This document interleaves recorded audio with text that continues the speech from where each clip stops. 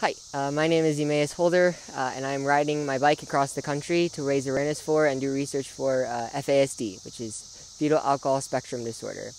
About 5% of the country's population has an FASD. It is very underdiagnosed, and from my experience with my family and with conversations I've already had, uh, there's not very much care for it. And so I'm doing this to advocate to get more care for it and doing it to raise awareness for it in general. So.